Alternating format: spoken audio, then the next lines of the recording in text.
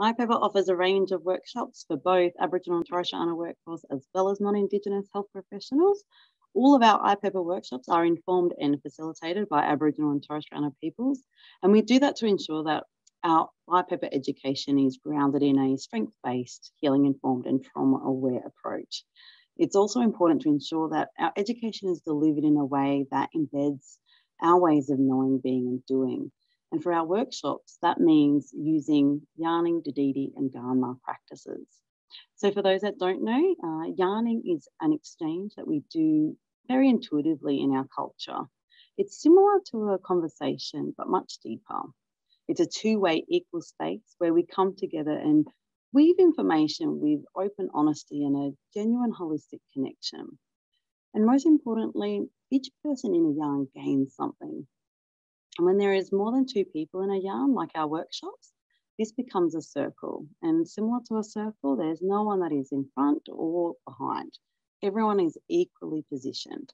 And everyone has something to offer to the yarn, which is valued, respected, and important to the growth of those in the yarn.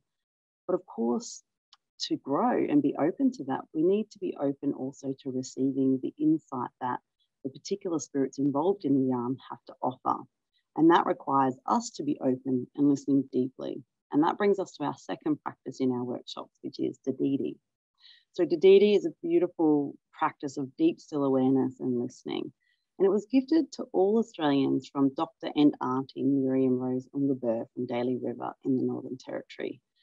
Now we have so much noise, you know, going on in our minds, and we attach to our thoughts in a million different ways, consciously and un- unconsciously. Which of course means there's no space for truly listening and connecting to your spirit and or self, let alone having the capacity to truly connect and listen to someone else's. So we tap into this practice time and time again during our workshops with the goal of drawing from this deep listening and still awareness to find the Dharma. And that brings us to our final special practice in our workshops. So Ganma is a Yolngu word and it's used to describe a lagoon in Arnhem Land where the river meets the sea. And where those two water systems meet, a foam is formed. And that foam is made up of both salt water and fresh water.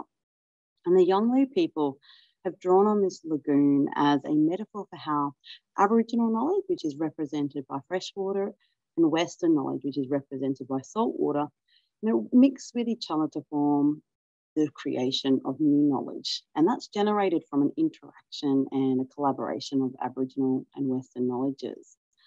And the foam that is formed represents deeper understanding and truth. However, you know, for that foam to form, there has to be balance where the two streams meet. Otherwise, one will be stronger and, and harm the other.